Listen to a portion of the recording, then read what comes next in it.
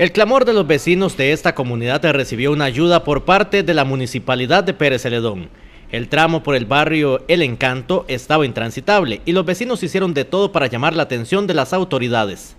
Hoy este paso luce así, luego de una reunión con el alcalde municipal. Que nosotros, bueno, con esa manifestación, este, y que siento que es muy positivo eh, el paso que dimos porque bueno, agradecerle también a, a Jeffrey la visita, él se hizo presente, hizo un trabajo ahí, tal vez algo provisional. Y es que según esta vecina llevan lidiando muchos años con estos problemas. No se podía pasar ahí, no, casi que ni, ni, ni a pie, porque en realidad los huecos era de lado a lado y este, eso está afectando muchísimo también a, a los vehículos y, y aquí los, los buses que que gracias a Dios contamos con buen servicio de bus. Y se vienen más cosas buenas para esta parte de San Isidro del General. Yo creo que en esto, eh, ante todo, es importante estar dándole la información a la gente, a pesar de que en su momento ya nos habíamos referido a que eh, este contrato estaba firmado hace prácticamente más de un mes. La maquinaria de la municipalidad terminó los trabajos este miércoles por la tarde.